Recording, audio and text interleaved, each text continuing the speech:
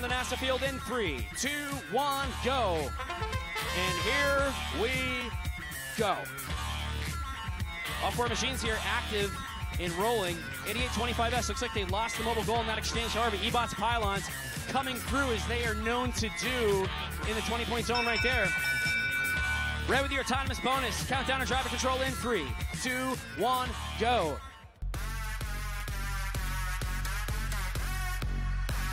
Well, And the crowd goes wild for that. All right. Action picking up right here. Unfortunately, for 666X, one of their mobile goals has been tipped over. Let's see if they can actually get that righted. They may need that goal in order to close the scoring gap here. Don't forget, Red took your autonomous bonus at the end of that 15 second period. And they also have a 20 point mobile goal, two cones on top of that. Giving them a nice score right there. Blue does have the stacking bonus in the 20 point zone. Still early on here in the match. One minute left. Wings of Freedom going to work here. Looking to grab some cones. Looking to build up that stack on the mobile goal. In the meantime, 78-84D. Another one of our Chinese contingency here. Trying to score in that stationary goal. 52-25A. That's E-Bots Pilon scoring in the 10-point zone effectively. Nicely done. 88-25S. Wings of Freedom. Played a little bit of D right there on blue. Trying to prevent them from scoring effectively here. Now 666X returning the favor right here. That's interesting. 30 seconds left here in match number 11 on the NASA field. Look at 78-84D. They have a clean path right into the 10-point zone. Should be a big score here. Let's see if they can do it. That's a big stack. That's a precarious move. And they do so smoothly. Cooler than the other side of the pillow.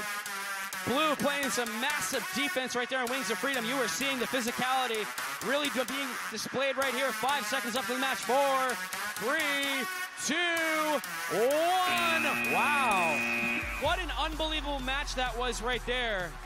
Red off to a hot start. Blue closing the gap with a gigantic stack. Then you saw some pretty rock solid aggressive defense being played there at the close of that match. Pretty incredible stuff. By the way, Paul, I love you. Back to you. Oh, back to me. Oh, back to you. Back to me, not to you. Yeah. So in this match, you saw some, you saw some interlaced defense, right? So you see these two predominantly offensive robots up until this point. Now they're starting to play some strategic defense. Look, ooh, I got my score. I'm going to slow you down a little bit on my way to get my next my next cone. We saw some autonomous tipping of goals, although it didn't really affect. These teams are good enough to flip those mobile goals back over. But we're seeing these offensive teams starting to play a little more strategic defense as we get further along in the tournament. Well, it's interesting because teams are are adapting to what's happening out there on the field, and they're looking at the past matches and they're really coming up with new strategies only five mobile goals scored in that match. Yeah, I mean, again, they're playing, they're putting mobile goals in precarious positions. They're um, going after robots that have mobile goals that may be too far away from their scoring zone, getting in the way, playing positional defense. I mean, this is offense and defense at the same time. It's, it's really wa- fun to watch.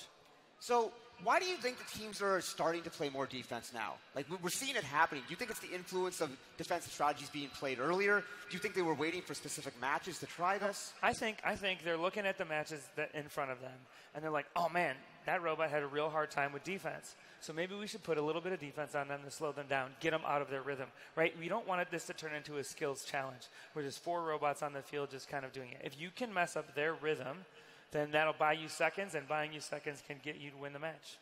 All right, it looks like the score is ready for that match. It was a close one. Technology takes it 95 to 84. So that really jumbles up the standings in the middle. For it's a, it's really an all-out race for number two. Right. Let's take a look at our updated standings. And we see that technology at 4 0 has clinched a spot in the finals. Even if they lose their last match, they are locked into one of the top two positions because everyone else has two lo- uh, these two if they, losses. If they lose their last match, they're still number one. Uh, that's correct. And they only would only have one.